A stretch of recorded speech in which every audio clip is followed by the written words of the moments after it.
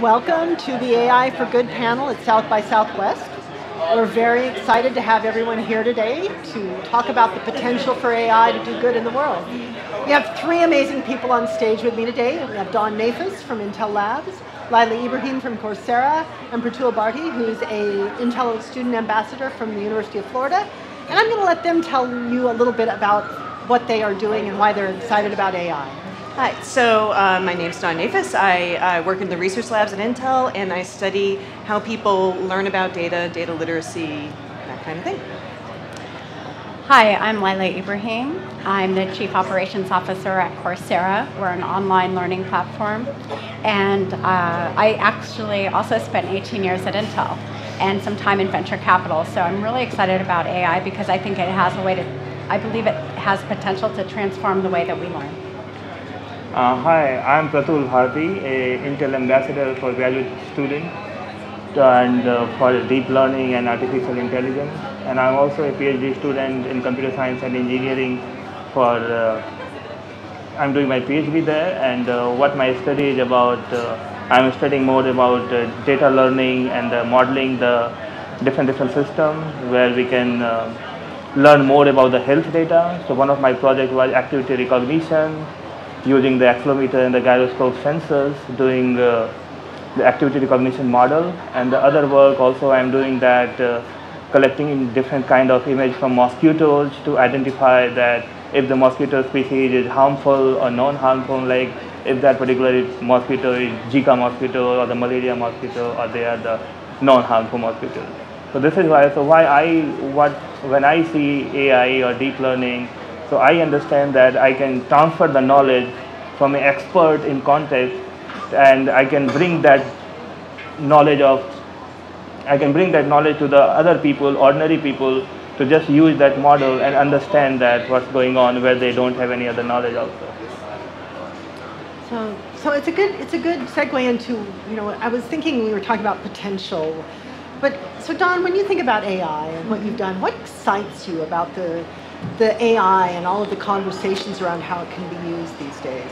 You know, what I'm most excited about is actually the civic uses, um, and particularly when AI can actually get into the hands of people who see the world a little bit differently. Um, so an example of that is right now I'm working with um, a, a uh, a group of um, a citizen group who is concerned about air quality. They have a point source polluter that they're worried about, um, and actually they have very good air quality instrumentation um, going on. And they've literally spent the last year just getting their heads around like what is this data actually telling us, right? How can we represent that data? What can we actually do with it? They also did a pilot um, where they combined wearables and other kinds of health tracking to figure out, you know, geez, do our, you know, blood oxygens or heart rates spike when there's pollution in the air, right? That kind of time series sort of correlation is simple to many of the people in our in this room, but it's really not simple at all if you're an ordinary person just worried about the air. And so now they're asking questions of, well, wait a second, can we actually, you know, sort of use some sort of technique to say, oh, you know what, this spike, when it's these two chemicals and it goes over this threshold, that looks a whole lot like the point source polluter, right? But when it happens a little bit differently, that's actually the guy down the road who's like painting his car or whatever, right? And so they're asking that question of, you know, uh, of the data, but you know, that's a perfect application of AI. And then the question then becomes, how can we get people like that to actually take advantage of the technology and, and know what's in it to be able to you know really understand what comes out. So Lila, when you you're coming at it from a different perspective, you guys are really engaged in online learning and helping people learn. So when you think about AI and the trends you're seeing now, what do you think is really exciting? Where is this going? That's an exciting potential. But, um, I think it's interesting. The past few years, we've been talking a lot about big data but data is only useful if you can find some way to analyze it and highlight the trends or be able to provide a service on top of uh, what the data is telling you to do. So from my perspective, what I'm most excited about from AI is the personalization that can happen because of it. So for example, in learning, which I think is a big social and economic issue around the globe, like regardless of what zip code you're from, you can now be, you can imagine a time when you could actually use AI to be able to assess where you're at, what skills you will need to move forward, and have basically a specific learning path associated with uh, your with your online learning. And I think in we haven't had that ability to do it before, but I think AI gives a is a tool for us to use in a way that uh, to advance the way that people learn. Pratool, what got you interested in doing this, right? So you're you're getting your graduate degree, and so what what excited you? What made you want to do this? Oh yes, uh, actually, when we talk about AI, so AI from we are studying from a long time, right? But uh, AI or deep learning become more productive, I think, from the last six, seven years when the Hinton talked more about the back propagation and more deep learning came into the picture. So what AI interested me now as a student, because initially when we were doing some traditional machine learning, so we had to put lot of features like the context-based features, because if you want to know the suppose natural language processing, then you have to also include people who know how the pronunciations are there, so more context-based people you need to bring. So basically, suppose when you are trying to figure out some different image-based model, then you have to have some that context-based people. But now once the deep learning is there, you don't, or even if you need, you don't need that much context of the data because now the model itself figures out how the pattern they can, because you don't need to teach them how to find the feature, not to code them. Eventually, by the different different layers, automatic now machine learning or the deep learning finds a pattern or finds the beautiful features in, through the autoencoder and the different different techniques. So that's what excites me a lot. Even I can do those work which I have no idea about, which I have literally no knowledge, but still I can work on those problems and I can build a model where I can just based on the data, mine the data and automatically figure out what's going on and how to find those patterns again for the unseen data. So that's part of thing as a student incites me more. So I listened, you know, when we talked, you mentioned the big data and making sense of big data and civic causes and solving problems and helping the data. So if you think ahead in the potential, what industry or social challenges do you think will benefit most from AI? Lila? Well, I hinted at it before, but if we take education, for example, so um, Coursera has, uh, since it started about five years ago, we have 25 million learners with 75% of our learners outside the United States. Um, what we've seen is that um, in general, what, what's happened is education has always been like, let me go and take a class. And then maybe based on what you've taken, we can recommend something next for you of what we, something we think you might like, kind of like what Netflix does with movies. Now, imagine if instead we took that a step further. So I could say something like, um, I want to learn digital marketing. And I could take an assessment to know where I'm at. And we would be able to map the skills of all of the 1,500 plus courses on our platform. And I would be able to know exactly which class to go into at which point. The quizzes and the assessments in that learning, my learning path, would be able to guide me. Like it would be able, like Maybe I'm motivated by competition. Maybe I'm motivated by rewards. Maybe there's this trend of me missing these problems.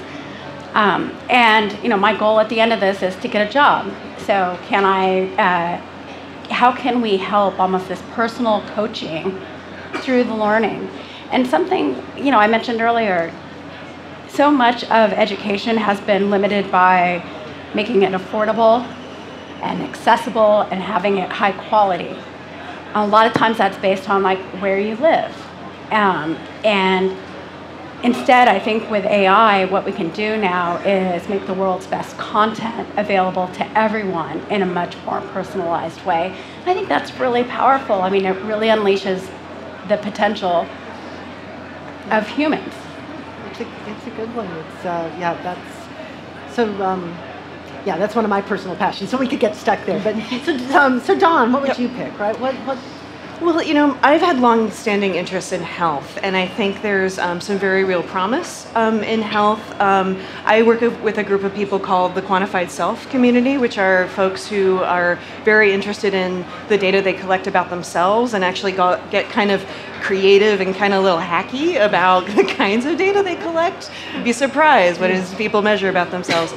Um, and the th- one of the reasons they do it is precisely because for many years, uh, for you know, large part of the kind of the, the modern period, medicine has been based on sort of notions of of population-based studies, right? We do randomized controlled trials, often for very good reasons, right? And and I had a MD say to me um, who participates in this community. He says, you know, a randomized controlled trial is really great for the first 500 people, right? You sort of learn learn what the um, side effects are going to be for a drug, for example. But the problem is when that drug goes to market, you could be number 501. you can have a very different reaction. Um, and so, sort of keeping track of those things in a much more ongoing, live way actually has real potential for sort of catching right those moments. Now, I also think there's a kind of a balance here because you know there's a lot of promise, particularly when we're talking about UI, uh, AI to do diagnosis um, to sort of parse medical Im- images, particularly when you know technicians are getting tired. they've looked at the same set of blobs like all day long. Um, you know, at the same time, um, you know, we've got to figure out how to balance their workloads um, so that they do also, you know, they're able to have some control when they say, oh, wait, my view is actually different from the machine's view, and we need to actually trace back, like, why there's that discrepancy. Um, and if we can shift, you know, make sure those work practices are kind of in line and in tune with what the machine does, then I think we can have something really great. Pratool, what about you? Uh, could you repeat the question? So if you think about the potential of AR, you know, you're about to get your, you know, your PhD. What do you want to do with it? What do you think is the most exciting opportunity out there? What industry or what problem? Okay, so what I think the where AI can put most of its impact, I think in the medical field and also I think in the business, like they predict the how much sales they are going to do after six months. So yeah, these two field I think already they are going very great. But I think in the medical, as I say that already a lot of people are putting AI to find that cancers from the image and also the X-ray analysis. They are doing a lot better than the technician. So I think they have a lot of potential, but still, like the different cancers, all the cancers are not same. Different cancers have the different things, but uh, not all, and all also like uh, we don't have all the expertise, all the doctors available at every center, but the people need every time anywhere, right? So if we have these kind of model in the cloud, and where just we take the image and get the all sort of information immediately, then I think uh, we can cure more things very quickly. Because a lot of time we listen that because of the doctor couldn't reach at the time, that's why we couldn't save the patient. So what I think that with the help of the, all the big data and the cloud system and the machine learning, we can reach to the people more quickly and more easily everywhere compared to the now. So this is the medical side. I think we can do a lot about using AI or the machine learning thing. And the second thing I believe in the business, as I told you, because a lot of times when you have, uh, suppose some event is coming, so a lot of the business is uh, thinking that how much backup we need to have so and how much sales we'll be doing so that we are not running out of the thing so that we can sell or also the prediction. So, okay, so last time we did this much business, the how much business. So I think a lot of scope we have in these two things. And uh, also I can say that there is no thing left now at least where you can say AI doesn't have impact. So I would say wherever there is a data, there is a pattern, obviously AI can make an impact on that. But as of now, I think these two things where a lot of scopes are there in the very recent future. So um, having been in the tech industry now for 16, 17 years, right? Every few years there's this panic about talent, like we don't have enough of software, and recently it's been AI, right? So everywhere I go, it's, oh, we don't have enough AI people to keep the, this moving forward. So I'm curious, um, Lila, do you see more people interested in taking it on Coursera? And I want everyone's opinion, do we have enough people in AI? And if not, what skills are it? How would we encourage more people? And how do we really get a diverse population? Because if we're honest in technology, oftentimes we say we want diversity, but as we build the skills, they haven't yeah. always been in a diverse population. So I'm, I'd really like your thoughts on, do we have enough? And if not, how do we get there and make it diverse? Um, big question. It is. um, there's, I think there are two parts to this. The first one is just how do we get more people familiar with AI? Um, right now on Coursera, one out of every six learners comes to our platform and is taking a data science class. That's to me that's like incredible. Like that there's that much interest in um, data science. Uh, the second number that I find interesting is we've over 2.5 million learners have taken machine learning classes, and that's a little bit more advanced. Um, so we're definitely seeing the interest. Uh, but this is still like in raw numbers, it seems like a big number, but it's really not that large. I think part of what we need to do is how do we demystify artificial intelligence, machine learning, and all the aspects of it. And this starts with building a strong foundation of skills, uh, which you know the universities have been providing. And now with, um, well, we've been bringing on more intermediate content, and now with companies like Intel and Google, we'll be bringing more advanced courses online. And I think one of the, so part of it is like just getting the word out there and making it more practical. And on the diversity inclusion aspect of it, it's really interesting. So I'm an electrical engineer by training. That was like 25 years ago. And so engineering has changed a lot since I graduated. And there's always this how do you kind of reinvent yourself? And so I think that there are a lot of people out there with core skills already that just have an opportunity to upskill. We did, you know, when, when I went through engineering and as I've talked to women engineers, just as one slice of the uh, inclusion pie, um, there's always this, we have this hypothesis that if someone can look and see someone like them who has built a career or had success, then they think, oh, well, maybe I can do that too. Well, we decided to test this at Coursera. So we actually had a machine learning class from University of Washington. And we marketed it. And we, in one message, we highlighted that Professor, we talked about Professor Fox and Professor Fox's accomplishments. And in the other one, we talked about Professor Emily Fox and her accomplishments. And what we found in our testing was that there was a 26% increase in women enrollments in the machine learning course just with the way that we marketed that course. And there was no change on the for, for men. We're doing a lot of experiments, and that's one of the things I'm actually really excited about with Coursera is now that we have this platform with 25 million learners, we can tell you when people fall off in a course, um, we can see trends that we couldn't see before. Like in a classroom of 30 people, if, if, if 10% misses a question, you're like, ah, you know, they just weren't paying attention. But now we can be like, okay, there's 100,000 people taking this and 10 10,000 people missed it. So professor, you know, your question's not right, the material leading into it isn't right. And putting some of these triggers in place, we think can really change it. So I think part of this is just making the content more available and doing it in a way that provides a safe environment where people of many different backgrounds can learn the same information.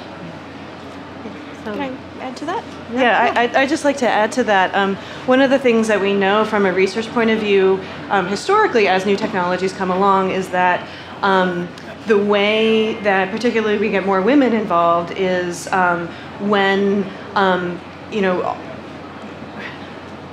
when there's a particular problem that's actually worth solving, right?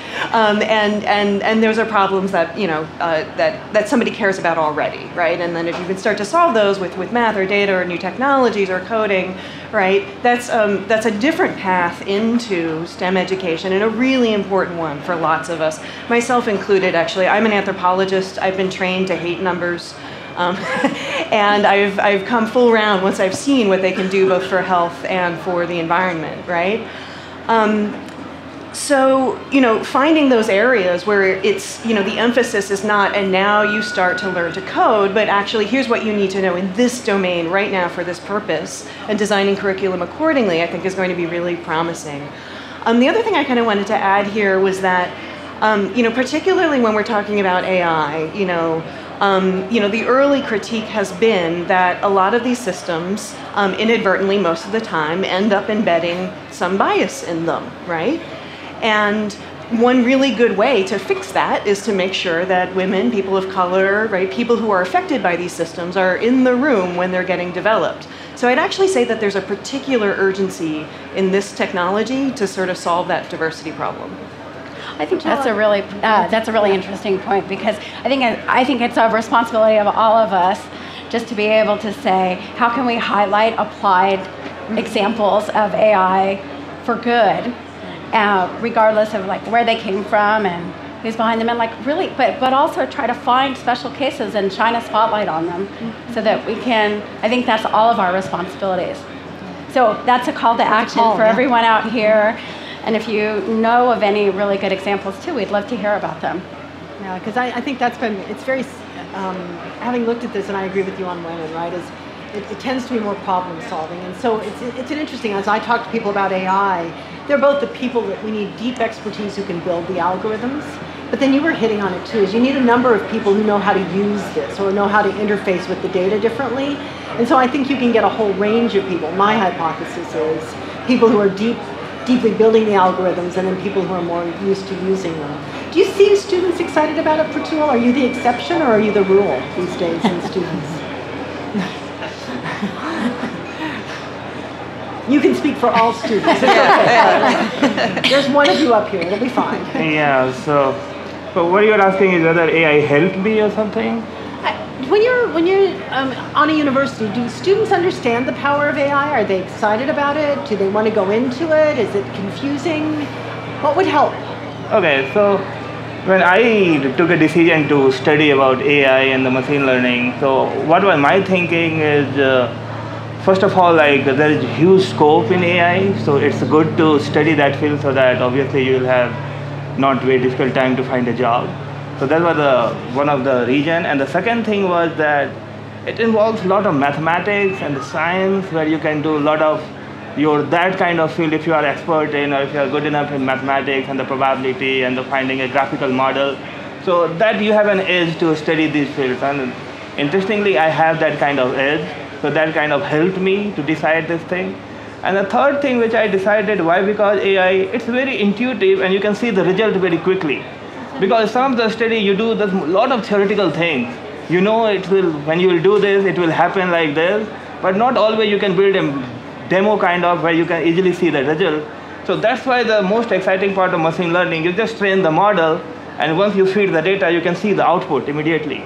So that's also the one of the things students are very excited about. So what I'm doing, people can see and appreciate the thing, so that's where you, you get a lot of credit about it, right? Okay, so I can show the people this is what I am studying, so they can understand and they can appreciate about. Because even when I go to my place and I saw, say, my mother, so they don't understand about when I show them. So even when you really watch and walk, so my computer can understand that you are walking. So then she excited, oh, how you can do that without having a camera? So then I said, okay, so there is a sensor in this watch, so it can detect you without seeing you. So then she say, oh, even with that can be done. So these kind of like different different things excite a lot. I think me and other students, where you can easily see the results because a lot of people are passionate about the results. So can I see the output of this? Okay, everything is good, but what about the output? So uh, that's what like uh, it excited me a lot, and these are the things I think I decided to pursue my career in this. I hadn't thought about that, but you're right. You get some immediate turn on the data, right? You can, once you you can see how it how it changes and you can see how you can retrain the algorithms fairly quickly mm-hmm. too. So, so before we open it up to questions, if we're sitting here five years from now, what do you think is going to be one really exciting thing that's happened in AI? What's something that you really think in the next five years? And that's a long time in technology. I mean, that's that's eons, right? But what's what do you think we can sit here and say this is going to be fundamentally different because of AI? Dawn, you're nodding. So Gosh, I'm I'm nodding in nodding actually. Yeah. Um, so I, I think I think the honest answer is I I can't I just can't say at this moment. Um, but we have ways of thinking about it, right? So if we think about where we are, were in the early days of the internet, right? So we had all this technical research that sort of showed, yes, you could do connectivity between computers, right?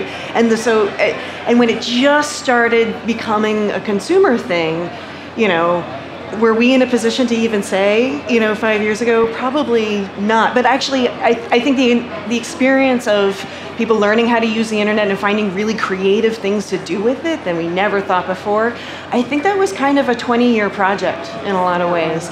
And so we might, I think the major changes are actually going to be sort of a lot further down the line potentially. It's, I think the, the, but as I listen to all of you, and, and I want to, I'll, I'll do give you guys a chance too, but, but there's this piece of personalization and making sense of big data that I think will go faster. My hypothesis than we think it will. Because once people can make sense of the data, they'll think about their data in a different way and what data they can use to solve the problems. And right now, you know, I remember the first time I used the internet, that dates me, but and I was like, this will go nowhere because you can't find what you want, right? I remember this thought. It was like, this is this is useless, right? And it wasn't until you got the search engines that made it useful.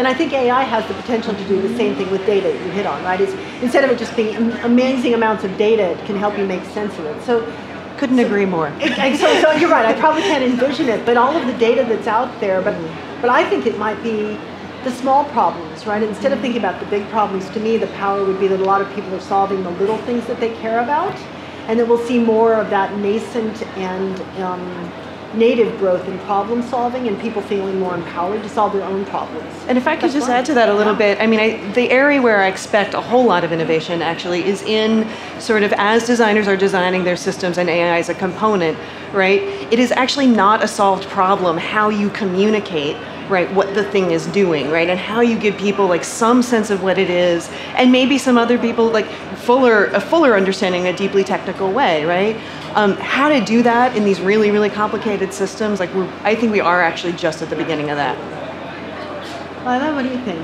you want to make any predictions no one's listening um, uh, two, th- two things, parallels come to mind. Uh, the first is you dated yourself, so I'll date mine, uh, myself as well. Uh, 20 years ago, I went to Japan to work on DVD standards. And everyone thought I was crazy because they're like, who's going to want to watch movies on a computer? Like, people could not even imagine it. And DVDs are like gone now, yep. right? So, uh, and then, so part of me is like, I, you can't even, it's, it's so hard to predict the future. Like, I, so I think what's exciting is what we can't even imagine. One of the, my big lessons out of spending four years in venture capital was when you can democratize technology as a tool and you can make it widely available to everyone, right? And unleash the power and the potential of entrepreneurs to ask questions, to come up with creative solutions to problems you didn't even know existed. And so I think that's, to me, uh, it's almost like an open, like I, I just want to remain open and see what can really come out of making AI more available to the world. Ratul, any ideas? Yeah, five years is a long time actually. It is. Yeah. so I really don't know five years, but I can tell you like maybe two, three years what is going to be. So three years back, I was in China, and uh, obviously I had a lot of trouble understanding their thing. So what I was doing, like I was trying to locate the English word in their conversation, and I was trying to make sense what they are trying to say. So what was happening there? So I thought that uh, why not we have some like automatic translator? And nowadays we have that. So you speak and they translate you in whatever language you want. But still you think, because many people use two, three different languages, right? So mix English, mix other language. So that's why you find the machine different part because they expect always the English or same language input and then they translate the same output.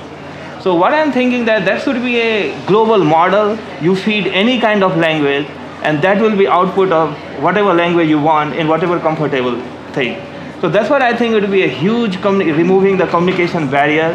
So wherever part of world you go, and you just keep on and put your headphone and you getting the things in whatever language you want. So that would be a huge thing, like whatever part of world you go and you don't need to worry about whether I will understand the things or not. So I think that would be the very thing. I think it's already there. It will be maybe two, three years down the line we can find that. But if you say that more future things, so what problem I'm facing right now, if just for a student perspective, because we are struggling to collect the data and we are not from industry and the deep model requires lots of lots of data to train even a shallow model. So why can't we find a technique which requires very less data but still build that strong powerful model which works as good as the, any like the GoogLeNet or the AlexNet we have the popular deep learning model.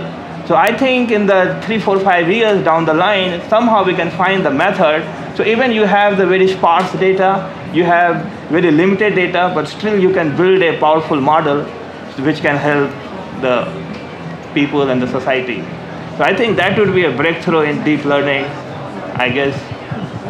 I want to, I could go on, but I want to see if there are any questions or ideas or thoughts from the audience about potential, what's gating it, what do we need to do? Yes? Thank you, by the way. That's from. Hi there. Okay, so one, I'm just really glad that you guys are here, and I'm glad that I'm here because I feel like this is what South by is supposed to be about. Um, I was lucky enough to get, sneak in here and get a pass and everything. And I'm actually one of your learners.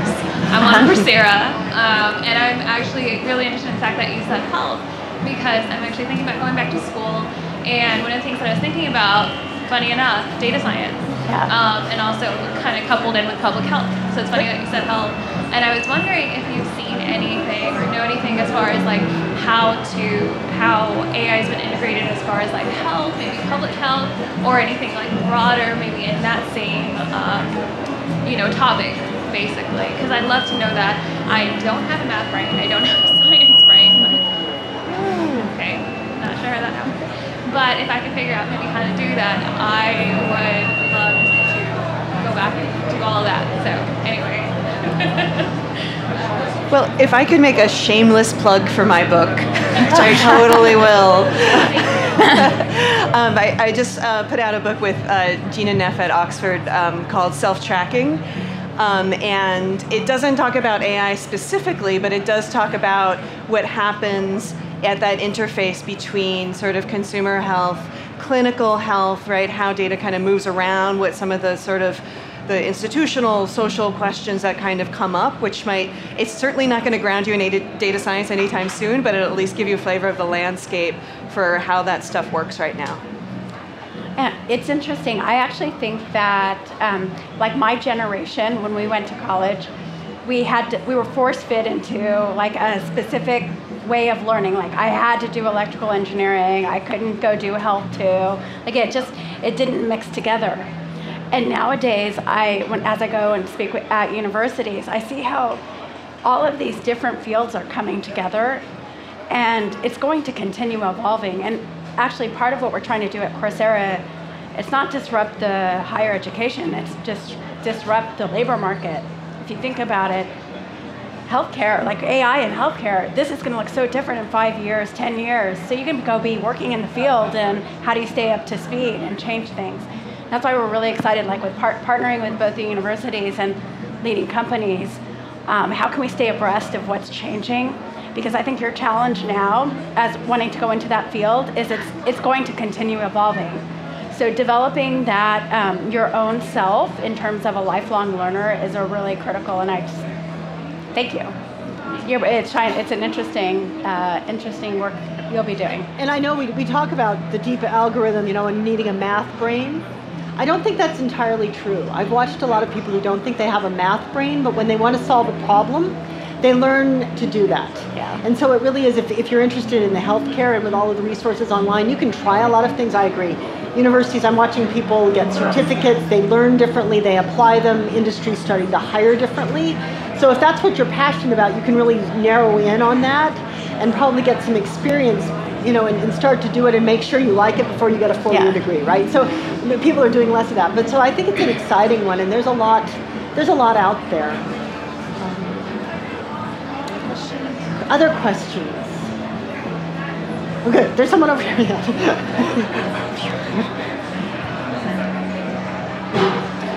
Hi. Uh, so let me ask you all. Whenever I hear about AI, it's typically in the hard sciences, mm-hmm. and I'm wondering what your thoughts are about AI in the soft sciences. My specific field is filmmaking. I'm a filmmaker in the arts, and I'm wondering about thoughts about how AI, you know, I, I'm passionate about the arts and also education. I want uh, my students to get jobs, you know, have careers. And um, I'm wondering if you have experience or thoughts about what role AI can play in in arts, uh, filmmaking, and the others in general. I'm gonna I'm gonna take that one just to start. So I'm actually gonna use two examples, and they're both real time. And um, I'm gonna ask my husband's forgiveness. He's not an, an artist, but he's an archaeologist. Um, and people don't think about data, and he's actually a computational archaeologist.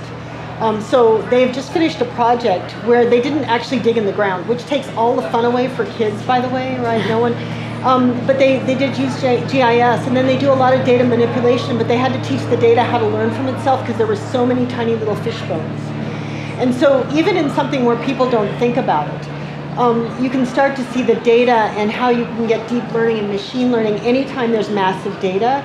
And it started to tell them more about where they could dig so they didn't disrupt the ground. But specifically to arts, we just did a project from Intel um, using the algorithms. Um, one of the one of our deep technologists partnered with a ballet company in Portland, and they put wristbands on the dancers, and they programmed the algorithms so that they would generate their own music as they danced. And so we now have, I think it's it's UT Austin actually. I'm pretty sure we just donated about 10 wristbands so they could start to use it in their in their music classes. And then they also gave it to musicians, and they had a it was for kids to get them interested. And so they put the wristbands on four musicians, and it amplified their music as they played. So with a violin player, it picked up on their actual playing and made it sound like they had an entire orchestra behind them. And so then they got to have a, a sort of playoff with the full orchestra because a lot of kids got interested. So even there, you're starting to see multimedia and musicians figure out how you can use that data behind the scene to make their realities come true in a faster way. And so that's why I do think you're starting to see more people think of themselves as a technologist than we have before. Because it allows them to get their dreams, you know, if they've envisioned just the way they want it to look or sound, technology starts to do it. And when you get that much data, you need something that helps you do it for you. Know, you can't be analyzing it if you want it real time. So you wouldn't be able to do this real time without the algorithms because it would just take you too much human. So there is actually a lot out there, um, and I think it, you'll see more and more of it. So if you want to talk more, I'm happy to share those examples. Very cool. They are cool, right? I, Yeah. it's, so I, I, this is my passion. I think you will see people who can use the technology as opposed to seeing technology as something separate. This will become more and more part of how people are thinking about healthcare or music. Um, and that will that will lead us into places I don't think we do know what it will be like in five years because it's just it's moving so fast. Um, and so that would be my short answer there. Okay. Other questions? Other yes. Hi. Um, oh, okay. Um, hi. I, I'm in the healthcare industry. I'm a bit of a skeptic, I guess, or cynic, because I've been in it for a really long time. I've been in it for a really long time.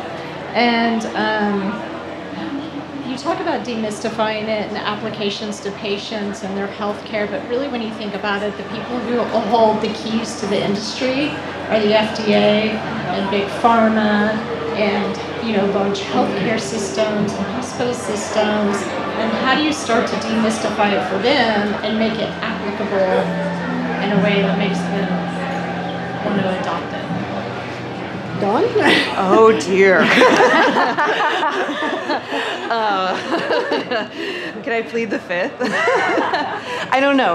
Um, I do know that it is. I, you're identifying the exact same challenge that we saw in the research. Um, that um, uh, you know, new data types do not interoperate well with systems that are built on old data types where people know how to read those and they travel very quickly and they're already embedded in the system and, and that's and that's kind of that. Um, clearly, where there's efficiencies to be gained, um, no doubt, um, folks in those in institutions can start to take a, a broader look. But where where those actually come from is, a, is frankly a good question. It's interesting. Uh, with my VC hat on, there are a lot of startups right now that are trying to figure out how can they. Sorry, my voice. Um, they're trying to figure out how can they disrupt the system, and uh, really, I think that's it's going to be interesting over the next few years. But I, you see a couple of folks kind of popping up. you know, even you can take something even more established like Chan Zuckerberg Initiative and the work that they're trying to do around healthcare uh, that Cori Bargmann is leading, of um, having both the technology and the life sciences, or, or Google doing some interesting work with Calico, um, which is one of uh, Coursera's founders who is an AI expert. So I think we're kind of early in this stage, but there's enough happening that I think we're going to make, there's something's going to happen. If I could just Maybe. add as well, yeah, yeah. I mean, the, the thing is, you know, health is not always the thing that happens in a medical center, right? And so if we think about what's happening, you know, on the consumer side, on the civil society side, right, there is so much that we can learn.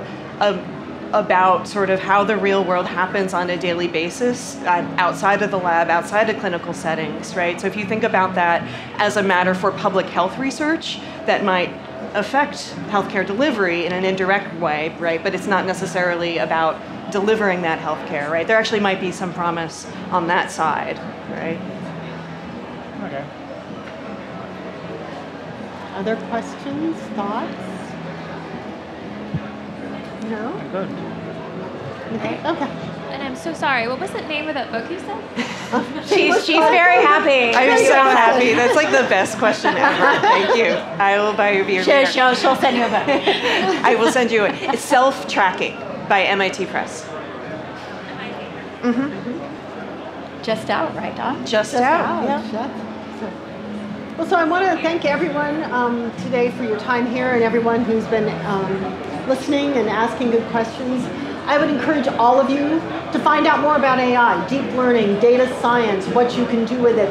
Talk to people about it. It isn't scary, um, but it is confusing at times. But you can get a lot of information. Coursera, shameless plug for Coursera, but there's an amazing amount of online learning that you can do to explore without even paying any money. So you don't have to get invested. You can start to talk to younger people about it as well, right? I think, you know, I have a se- uh, fourth grader now. Wow, she's past second grade, and you know, she had the same. I don't like math, but when she started to figure out what you could do with the data in math, she liked it. So, so talk to people, learn about it, start thinking about how you can use it, and encourage the system to start to solve problems and put pressure into it. If you want to hear more about it from an Intel perspective, shameless plug, Diane Bryant, who is our uh, senior VP um, in the data center, has a keynote tomorrow at 9.30 in the morning. She is also a brilliant speaker. I don't think there are many people who get on stage and sound as amazing as Diane, so please come. Um, and if you'd like to know more about any, talk to any of us, and let us know how we can help. Thank you.